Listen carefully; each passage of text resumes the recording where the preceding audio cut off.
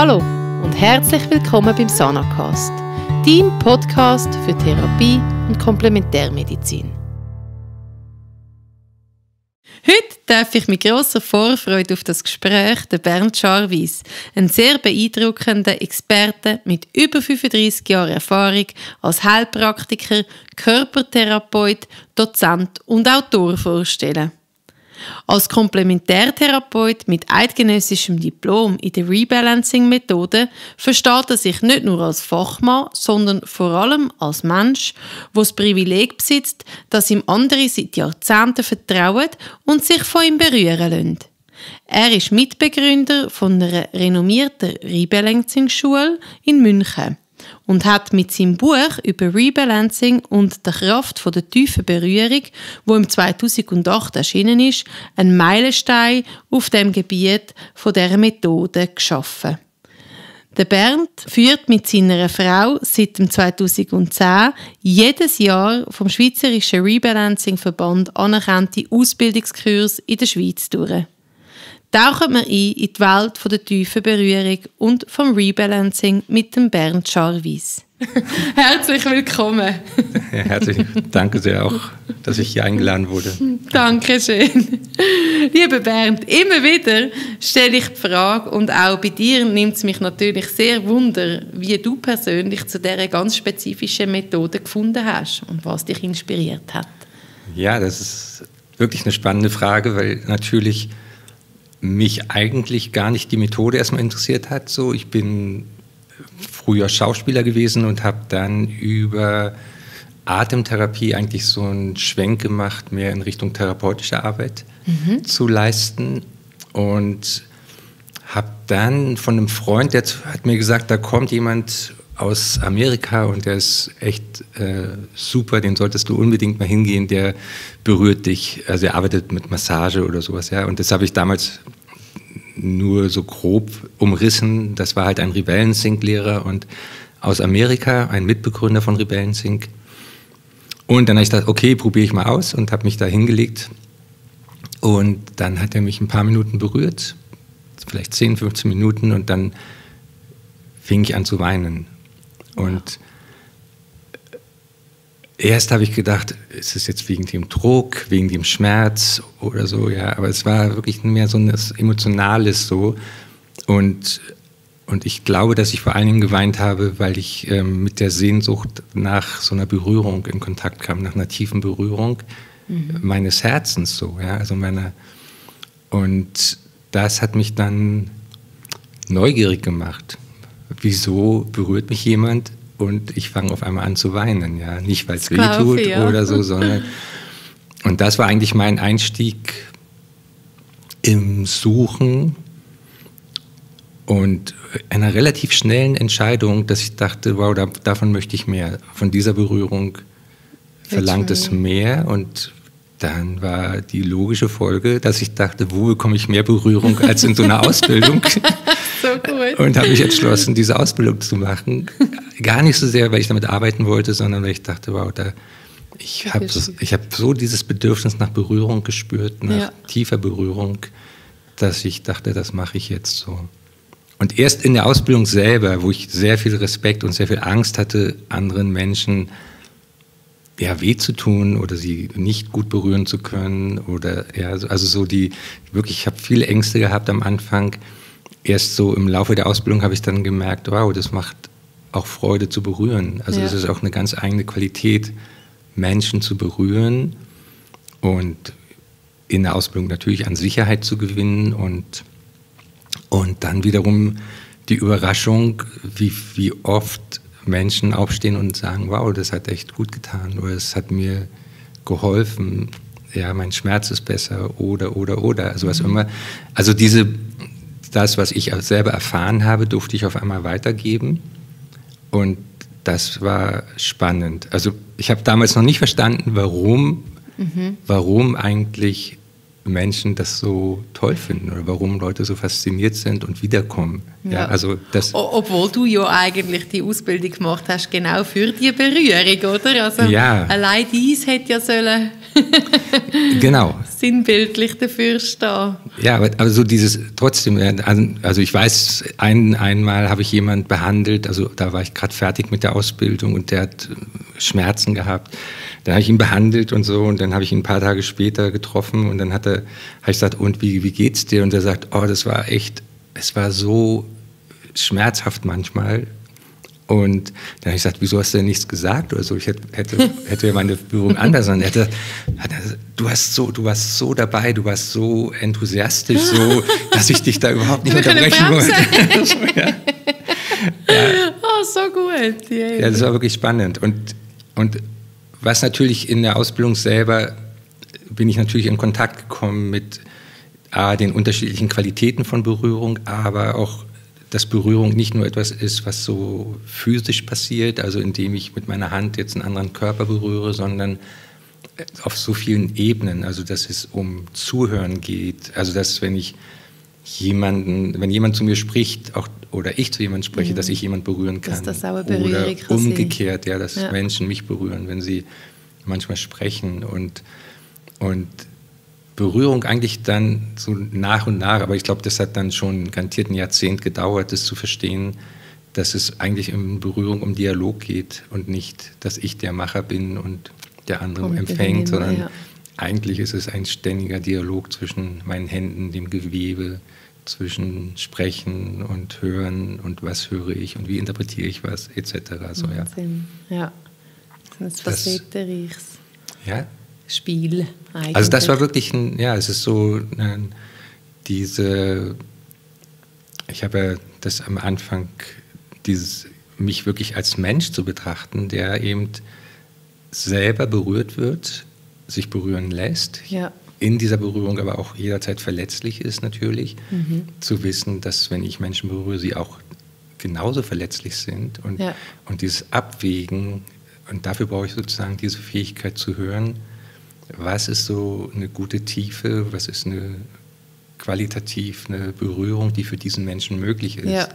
Das ist ja sehr individuell wahrscheinlich. Das ist so absolut ja. individuell. Es kommen Männer, die, was ich, da kann man mit einem Ellbogen reinbohren und, und die sagen, du kannst nicht tiefer. und es gibt andere, da legst du so ein bisschen die Hand auf und, und ähm, es ist schon der Grenzbereich. Ja. ja. Also so ist es eine ganz eigene Welt. Also aus heutiger Sicht ähm, nach so vielen Jahrzehnten, äh, ist, es, ist es, natürlich habe ich eine ganz andere Wahrnehmung oder eine ganz andere Einstellung dazu. Bestimmt. Aber damals ähm, war es erstmal diese Sehnsucht nach Berührung, dieses Überraschtsein, was so eine Berührung bewirkt. Ja. Also, dass es nicht etwas ist, wo ich sagen muss, ja, du musst mindestens dreimal kommen und dann fängst ja. du an, was zu spüren, sondern nee, du, du kommst, du wirst berührt und du spürst, es tut sich was in dir. Genau. Und es wird entweder besser, vielleicht auch kurz mal schlechter, aber du wirst nicht unberührt rausgehen. Ja, genau. so ja, das ist so, finde ich genial. Also nach wie vor finde ich das genial. Ja, wirklich. Du sagst jetzt viel berührt. Was ist denn, also ich, ich, für mich ganz klar, Rebalancing tönt jetzt schon Berührung, aber was ist Rebalancing? Also, ja, das ist natürlich eine spannende Frage. Also in der ersten Linie ist Rebalancing, so wie ich das damals für mich, also wo ich mich entschlossen habe, die Ausbildung zu machen, ging es mir natürlich um diese körperliche Berührung. Ja.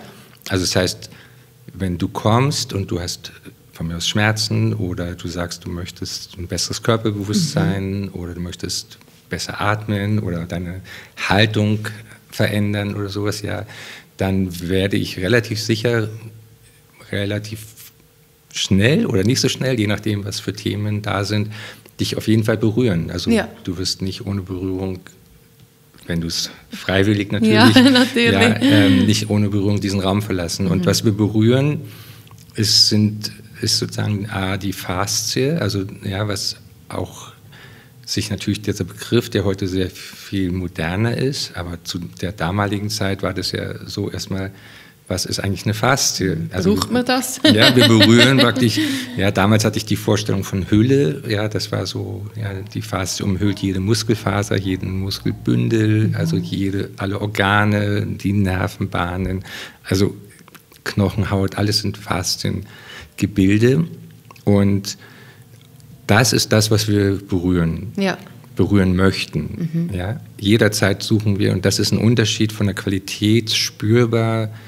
Ähm, das kann man sehr gut lernen, zu spüren, den Unterschied, ob ich jetzt in eine Muskulatur drücke ja, oder, oder eine Faszie, die, die, sozusagen diese Hüllen oder diese ähm, Verbundsysteme von, von Gewebe. Ja. Ja, und mit denen geht, treten wir in einen Dialog so.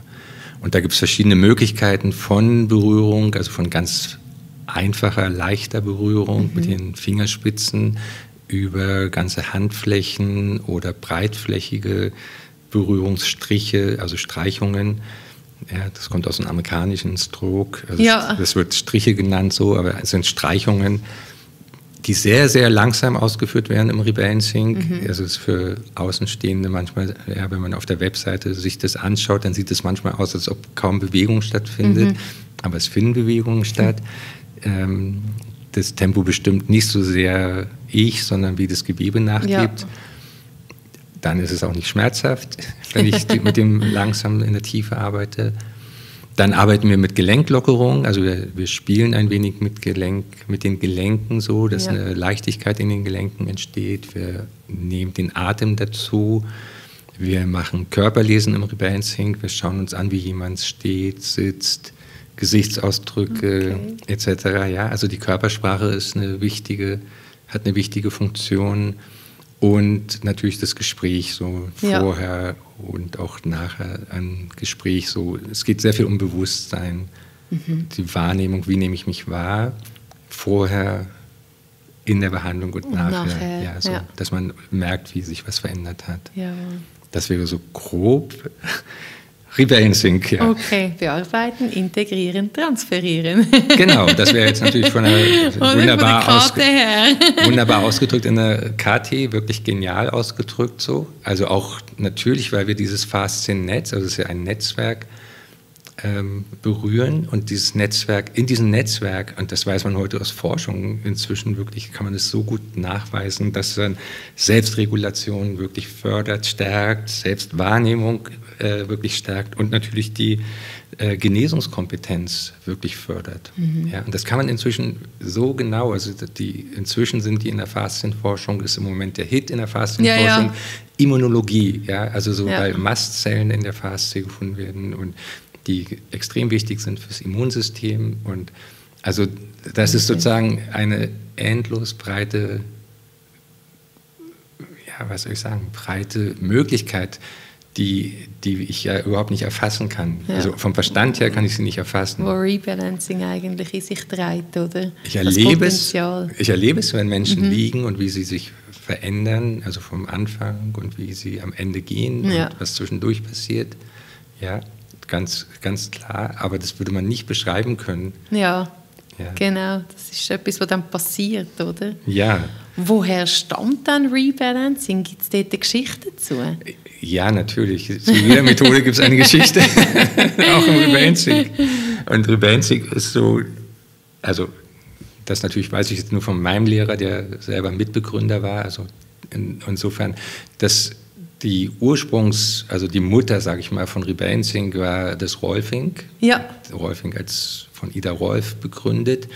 Und Lehrer vom, vom damaligen Rolfing-Institut haben praktisch irgendwann gesagt, ihnen ist es zu wenig rein strukturell zu arbeiten. Mhm. Also sozusagen den Körper anzuschauen und aufgrund dessen, was man sieht, bestimmte Entscheidungen zu treffen, wie der Körper im Verhältnis zur Schwerkraft optimaler stehen kann.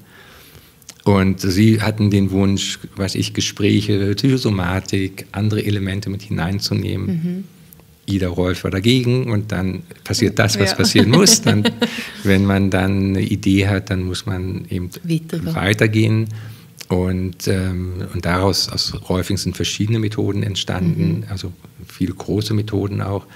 Und Rebalancing auch ist sozusagen dann so entstanden, dass Therapeuten oder ehemalige Lehrer vom Rolfing in Indien gelandet sind, in einem Ashram, nee.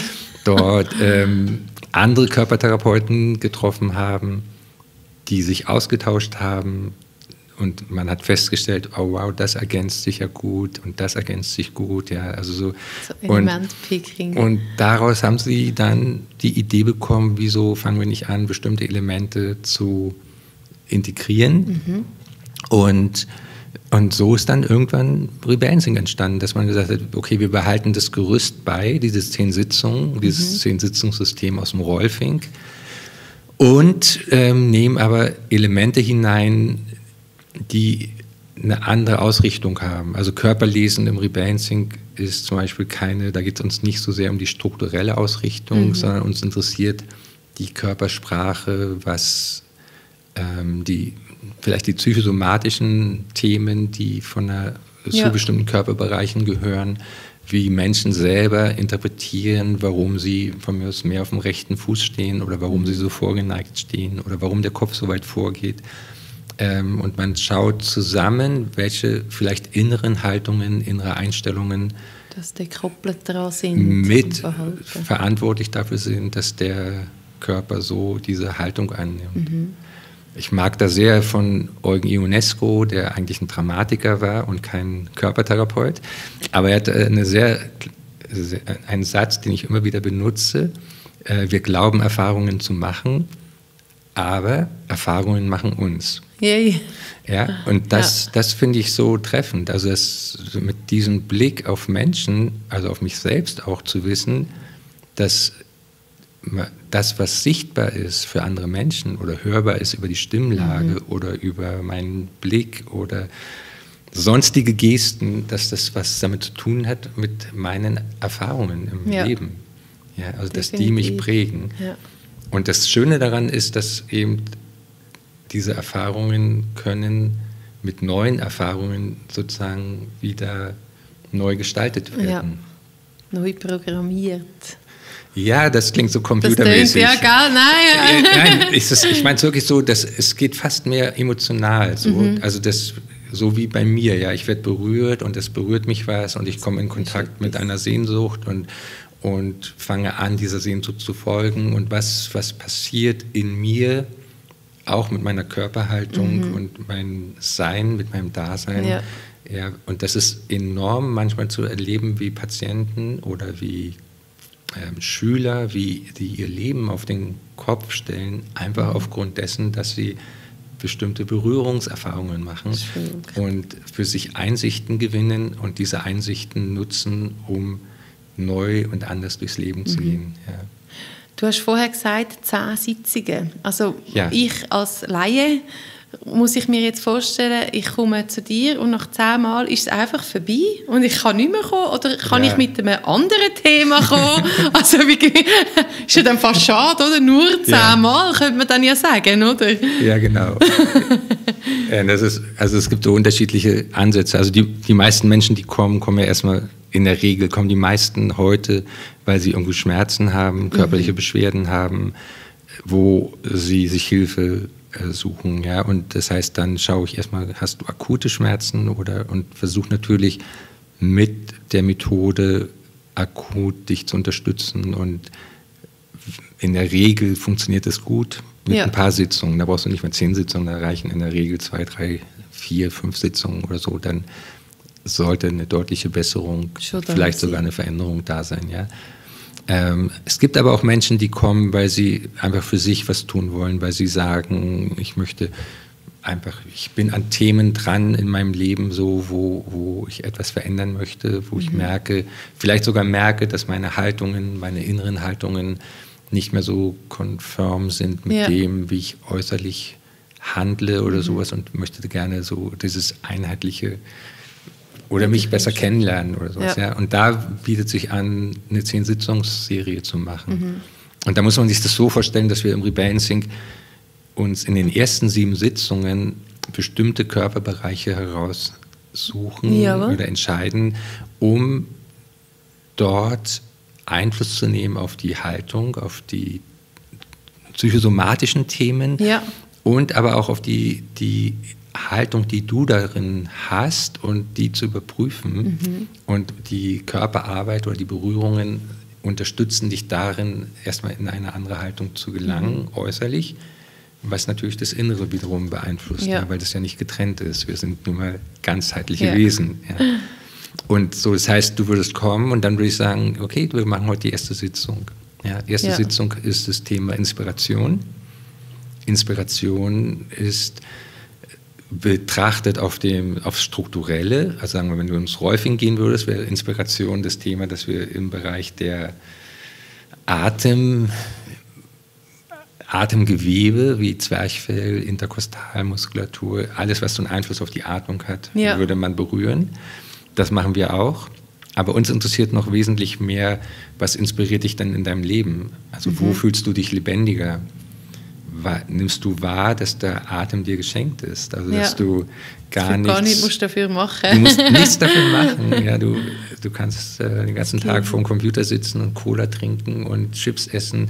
Äh, du wirst trotzdem den Ja. Atem geschenkt bekommen. Ja. die Qualität des Lebens wäre eine andere Frage, aber die, die, dass, du, dass du lebst sozusagen, ist so, solange du lebst, bekommst du den Atem Ja. geschenkt. Ja. Und, und das ist natürlich eine spannende Frage. Wenn wir dann dich, wenn ich dich berühre, dann sorgt es dafür, dass der Atem leichter fließt, die Inspiration leichter ist. Also Inspiration heißt, äh, das Einatmen kommt von inspirare, lateinisch. Und die Erfahrung von Inspiration, also wann atme ich denn tiefer, wenn ich wirklich von etwas begeistert bin, von Genau. einem Sonnenaufgang oder, oder einem Sonnenuntergang oder weiß ich, dass ich, ja, ich fahre oft mit dem Fahrrad zur Arbeit und so und bin immer wieder begeistert von, von den Tieren oder der Natur, wie die sich verändert jeden Tag, ja, obwohl ich den, immer die gleiche Strecke Ja, fahre. es ist immer es anders immer anders und sowas, ja. Und, ja, und das kann ich natürlich, ich könnte diese Strecke genauso fahren und nur die Straße sehen und nur möglichst schnell und ja. ich was, ja. Und, und ist nichts falsch dran, aber das Leben ist ein bisschen anders Mhm. und schöner, wenn ich, wenn ich sozusagen mich inspirieren lasse. Mhm. Und inspirieren kann alles. Also eine Berührung kann ich inspirieren, ein Gespräch kann ich inspirieren, ein Buch, Musik. Duft, alles. Oder? Alles, ja. Und alles, das- was mit den Sinn zu tun hat. Und da merkst du, dass es sehr viel mit Wahrnehmung zu tun hat. Ja? Wie gehe ich durchs Leben? Und was für eine Haltung, inneren Haltung gehe ich durchs Leben? Und was nehme ich dann überhaupt wahr? Genau. Ja, und das, darin unterstützt dich diese erste Sitzung. Ja, du, gehst, du bist nach dieser Sitzung, stehst du aufrechter, der Atem ist leichter, du siehst die Welt anders, hast einen anderen Blickwinkel und, und dann hängt es natürlich daran ab, wie du das in deinen Alltag wiederum transferierst. Ja. ob du sozusagen schnell wieder in deine alte Haltung gehst. also ich sage den, ich sag den äh, Klienten immer so, zum Beispiel, wenn sie mit einem Auto kommen, wenn du dich jetzt ins Auto setzt, dann stell bitte erstmal die Spiegel nach deiner jetzigen Haltung ein. Also Rückspiegel und Seitenspiegel. Oh, wow, ja. Weil wenn du dich nur reinsetzt und du passt dich wieder den Spiegeln an, dann gehst du in die alte Haltung zurück. Geht wieder retour, ja. Genauso zu Hause, den Spannend. Computer. Also passt das alles noch. Ja? Ja. Und das ist, da fängt sozusagen das an, das Transferieren. das ist Mhm. total. so, ja. Und die zweite Sehr Sitzung spannend, ja. wäre dann die Füße, Erdung, wie stehe ich im Leben, ja, Mhm. was, was trägt mich eigentlich, nehme ich wahr, dass ich genährt und getragen bin von Mhm. der Erde, ja, oder muss ich mich selbst halten, muss ich alles selber machen. Das sind Mutterthemen, Mutter Erde. Und im Idealfall haben wir das erlebt, dass wir getragen und genährt wurden. Ja. Und dann, das sieht man. Also Ja. ich sehe, ich sehe, ob ein Mensch gut getragen und gut genährt Ah, wurde. sicher. Ja, weil dann die, diese Menschen, die stehen echt gut auf dem Boden. Ja. Die haben wirklich so eine gute Basis. Wow. Ja, und jemand, der das nicht hatte, ähm, der versucht viel hier oben, also im Schulterbereich ähm, auszugleichen und so und versucht viel selber zu machen, weil er dieses Vertrauen, dieses Grundvertrauen Mhm.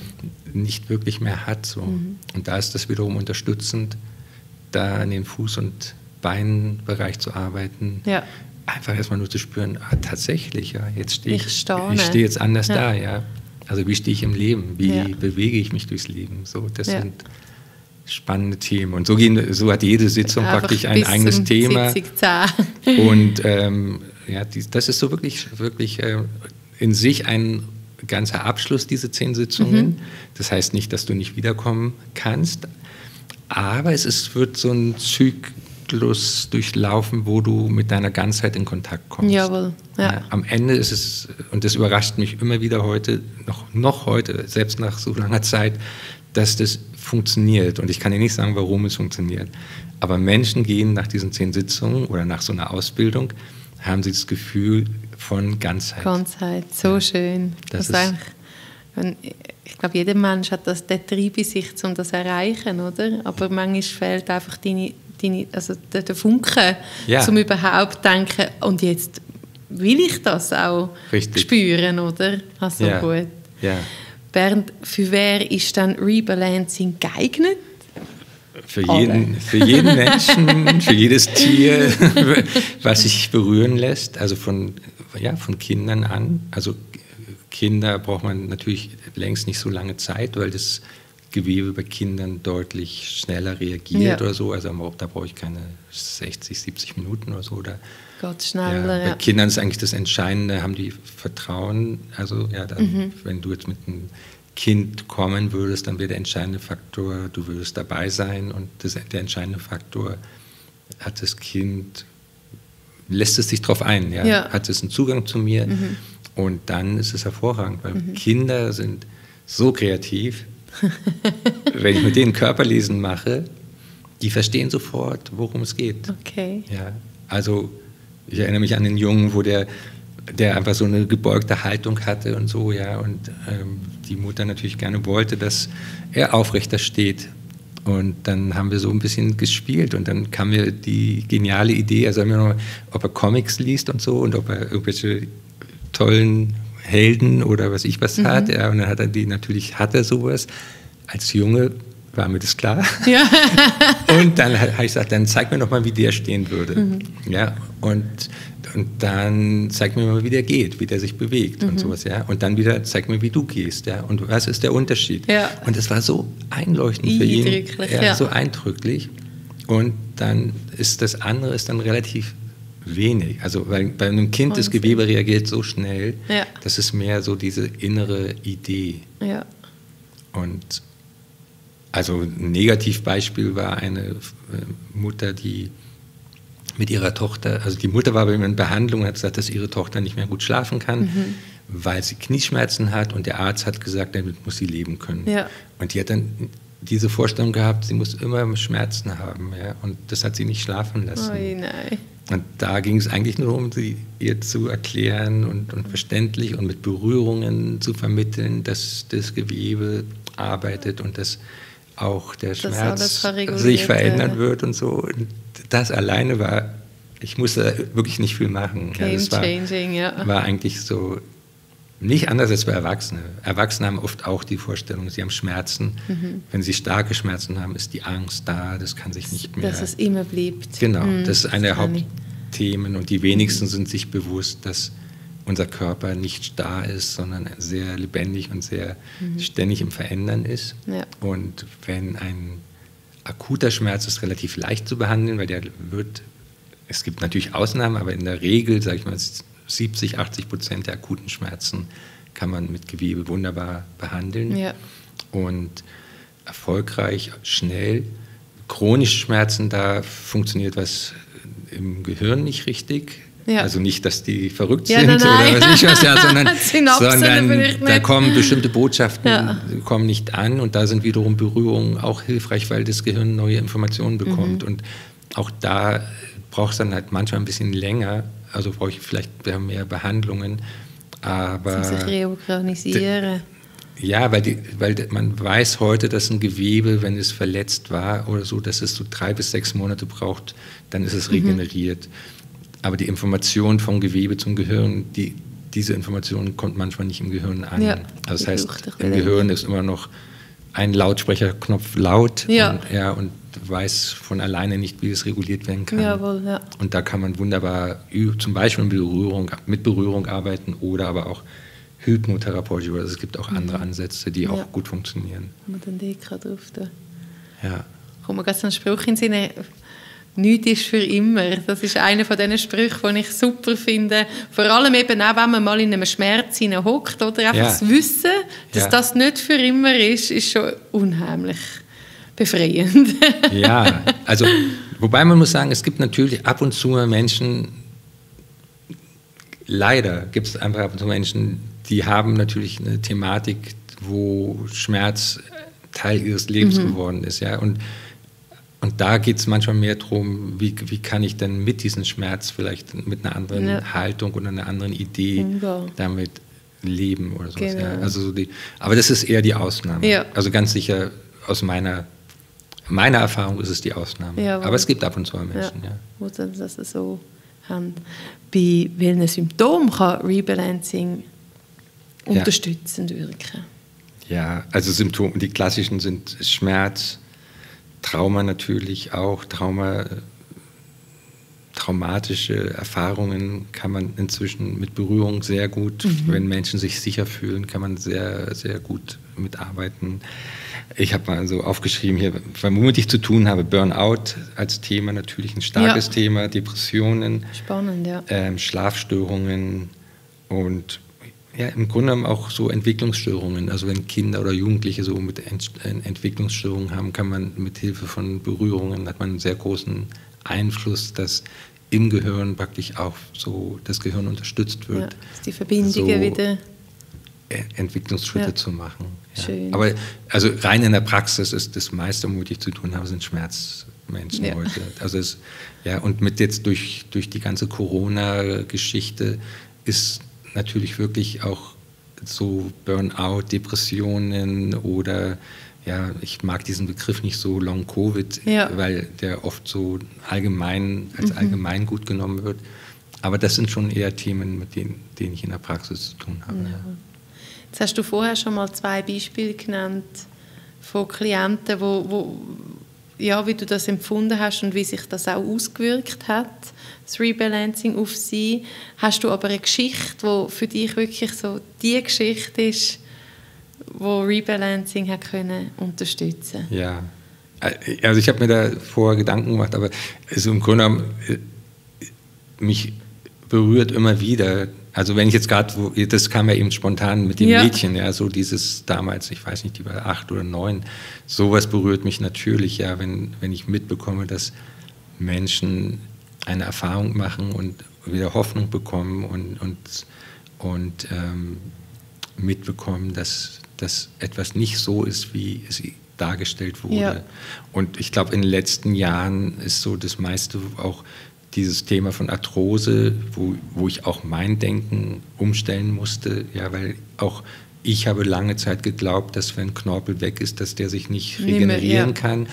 Und das ist heute, weiß man, dass es nicht so ist. Also es gibt genug Ärzte, die das auch nachweisen können und mit MRI praktisch nachweisen können und auch belastungsmäßig nachweisen können. Und da habe ich auch sehr gute Erfahrungen gemacht. So. Also Menschen, die sozusagen an einem Punkt sind, wo sie keine Hüfte oder kein künstliches Kniegelenk, Hüftgelenk oder Schultergelenk, die nochmal was anderes ausprobieren mhm. und wo es mich dann immer wieder berührt, obwohl alle Bilder und Diagnosen, die ich dazu lese, wo ich denke, oh Gott, wie soll ich denen Was helfen? Ich machen, und, ja.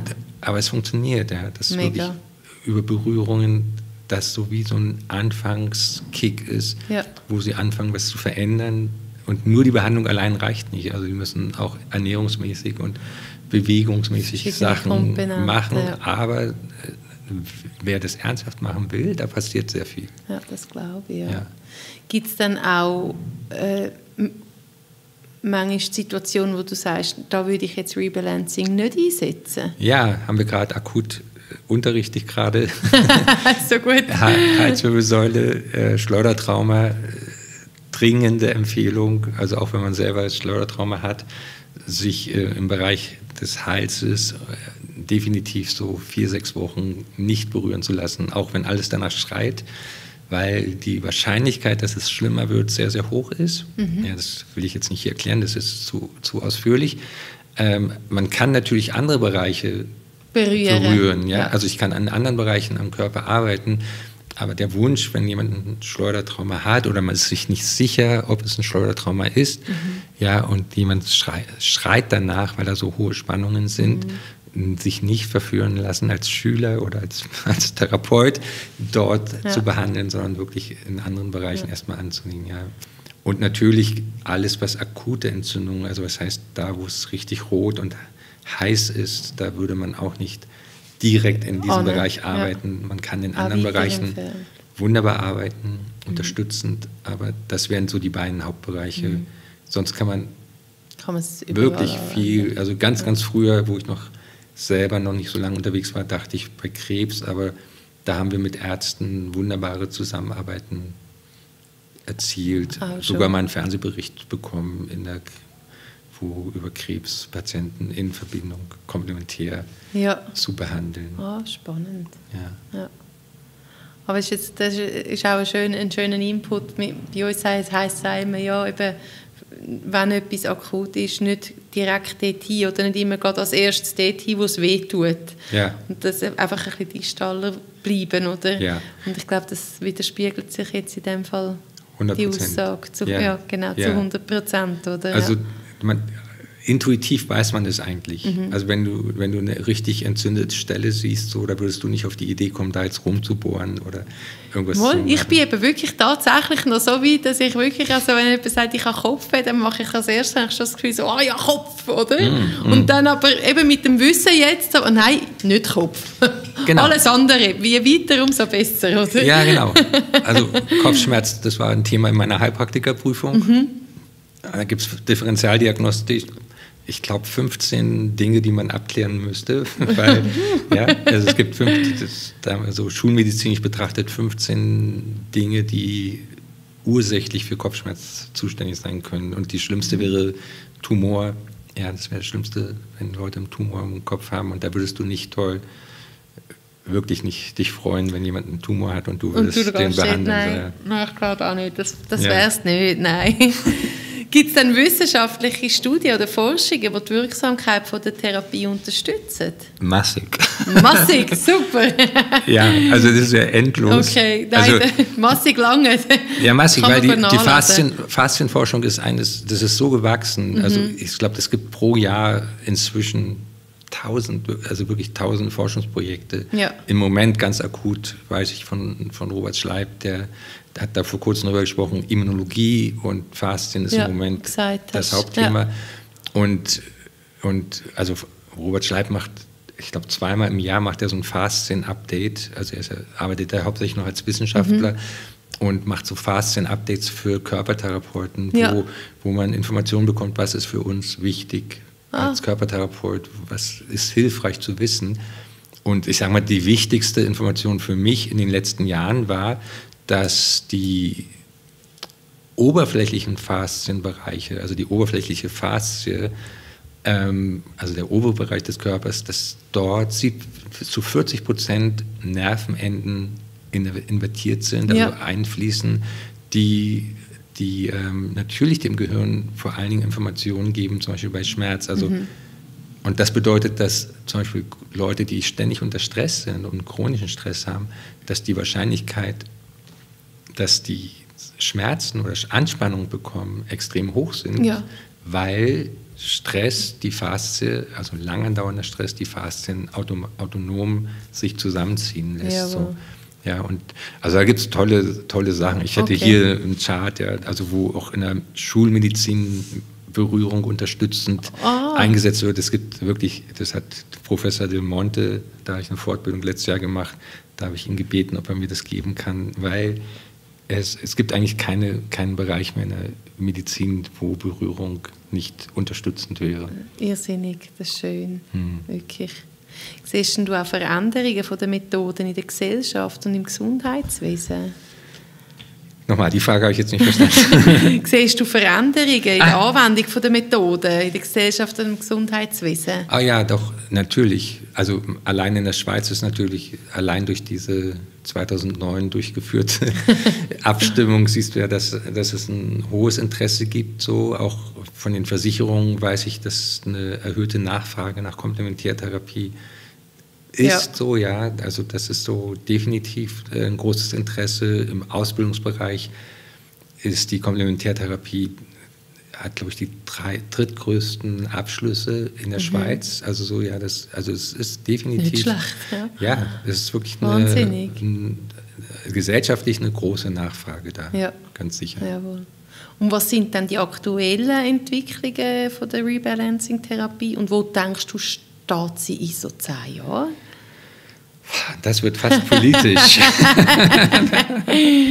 also, also es gibt ja so wie zwei Tendenzen. Ja, mit den Corona, Corona hat ja praktisch so wie, war so wie konträr sozusagen, dass Leute in die Isolation gegangen sind, mhm. ja, weil es empfohlen wurde mhm. und viele dem gefolgt sind oder geglaubt haben, dass das sinnvoll wäre.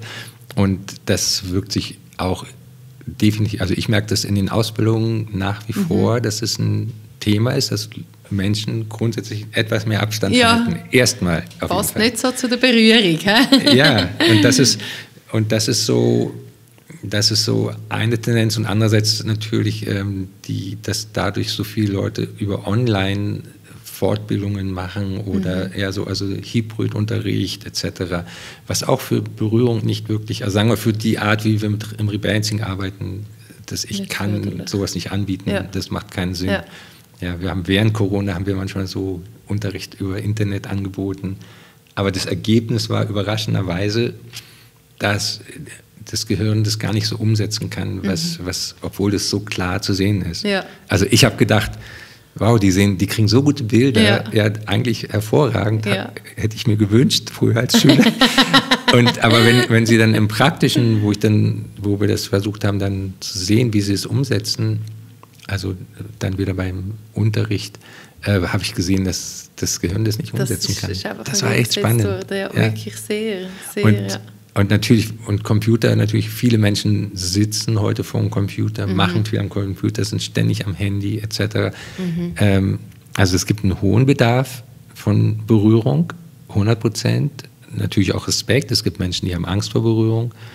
Und gesellschaftspolitisch sehe ich das gerade, also finde ich gerade so eine schwierige Phase, wo bezogen als Schule kann ich das sagen, als kleine Schule, wir sind ja eine kleine Schule, ähm, ich mitbekomme, dass die Versicherungen ein bisschen so diesen Markt mit bestimmen, indem sie sagen, die Methode erkennen wir an, diese Methode erkennen wir nicht mhm. an, ähm, wo eigentlich die Idee von der komplementärtherapeutischen Gemeinschaft, also dass wir ein eidgenössisches Diplom haben für Komplementärtherapie, dass es dann Versicherungen gibt, die sagen, ja, uns interessieren trotzdem die Methoden. Ja. Also Komplementärtherapie für, für die Zuhörer, ja. ja. ist so, wenn man das eidgenössische Diplom macht, wird man ja nicht für die Methode geprüft, sondern man Was wird geprüft, ob man methodenübergreifend arbeitet. Also das heißt, das vereint uns, was mhm. dort geprüft wird.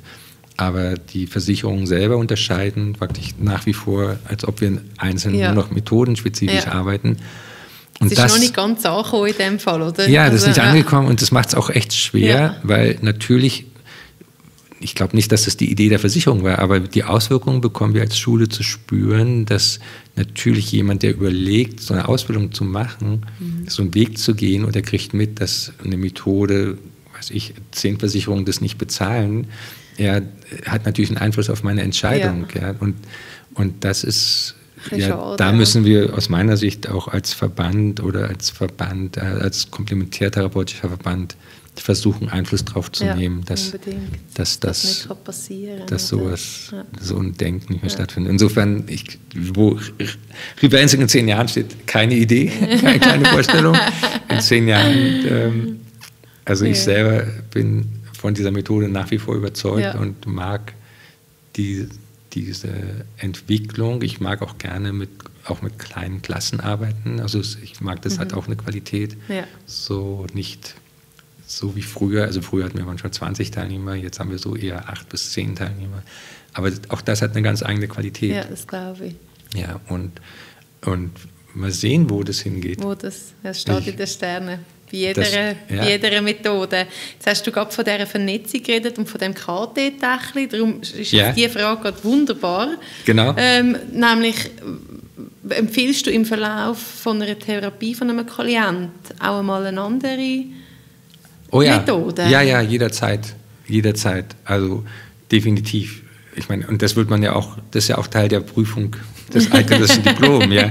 Wo sind meine Grenzen? Mhm. Ja, in Deutschland als Heilpraktiker lernt man vor allen Dingen, was man nicht behandeln sollte oder dürfte. Ja. Also das heißt, ich schicke Menschen, ich arbeite mit Therapeuten zusammen und auch mit Ärzten zusammen. Also wenn Traumathemen auftauchen, wenn es so offensichtlich mhm. wird, so ja, dass mhm. Trauma das Thema ist, dann würde ich immer sagen, begleitend ja. oder oder auch mal jemand ganz wegzuschicken und zu sagen, ja. aus meiner Sicht solltest du erstmal dieses Thema behandeln und dann können wir weitersehen. Okay. Ich bin überraschend, also mich hat überrascht, Hypnotherapie ist, was wie effektiv Hypnotherapie ist, ähm, weil ich mit einem Arzt zusammen Fortbildungen anbiete seit letztem Jahr neu.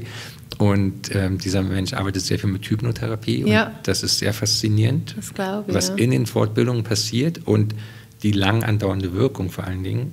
Also mhm. das hat mich am meisten überrascht. Ja, ja weil es mit wenig Einsatz eine hohe Wirkung hat. Ja. Das wären, das wären eigentlich, sagen wir, die ja. beiden, wo ich am meisten Leute Mut weiterschicke. Findest ja wohl genau die, die gut. Und wenn ich einen Zauberstab in der Hand hätte, wo dir Kraft und das Wissen hm. von einer weiteren Körpertherapie würde vermitteln was dürfte ich dir für eine Methode anzaubern? Gibt es da ja, etwas?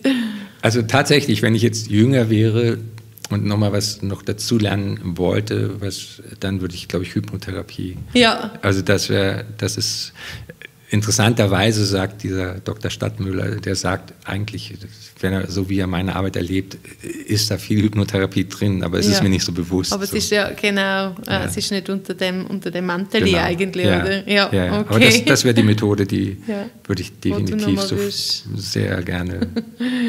Finde ich auch den Zauberstab, du musst gar nicht jünger sein. ja, gut. so gut. Und welche Person hättest denn du super gerne mal bei dir in der Therapie? Ja. Und warum? Also ich kann mich nicht für, also ich kann mich nicht für einen entscheiden. Einmal Muschig Feldenkreis, mhm. ja, weil er jemand ist, also von der Literatur, die ich gelesen habe oder den Videos, die ich gesehen habe, sehr faszinierender Mann, sehr, der der wirklich das immer im Blick hatte, dass er Menschen berührt und nicht einen Muskel oder nicht einen Knochen mhm. oder sonst was. Ja, also so der, ja. der so dieses Gesamtbild hatte, was, was ich liebe und was auch mir immer hilfreich ist. Mhm. Also mir, ja, das sage ich auch meinen Schülern oft so. Vergesst nicht, da liegt ein Mensch. Ja, ja. Er berührt nicht das Gewebe, den Knochen, sondern er berührt immer den der Menschen. Mensch. Und da ist er ein totaler Verfechter gewesen. Und der zweite wäre Viktor Frankl, der als Mensch, als Psychotherapeut, ja, sich sein Leben lang der Frage gewidmet hat, der Sinnfrage, also der sich gefragt hat als KZ-Überlebender, wieso gibt es Menschen, die in KZ überlebt haben, was mhm. war da anders bei denen und da herausgefunden hat, dass Menschen, die wissen, warum sie überleben wollen, ja, ja. in der Regel waren es natürlich andere Menschen, die sie, wo sie sich für verantwortlich gefühlt haben. Mhm. Ja, aber auch so Beispiele hatte wie ein Müllarbeiter, der eine Sinnfrage hatte und fest, der dann anfing, aus, aus dem Müll Kinderspielzeug ja. zu reparieren und das dann den Kindern zu schenken und, und auf einmal eine für sich sehr sinnvolle Arbeit entdeckt hatte. Ja. Also die beiden Menschen, die würde ich gerne berühren. Und das, mhm. äh, Mal schauen, wohin das, das würde führen. Ja, genau. Ja. so gut. Ja. Toll. Mhm. Bernd, ich danke dir viel, viel mal für das irrsinnig berührende Gespräch. Danke sehr. Und ich kann richtig schön können eintauchen jetzt in das Thema. Das Freut mich sehr. Das wirklich schön offen gemacht. Danke dir vielmals. Ich danke dir. Danke.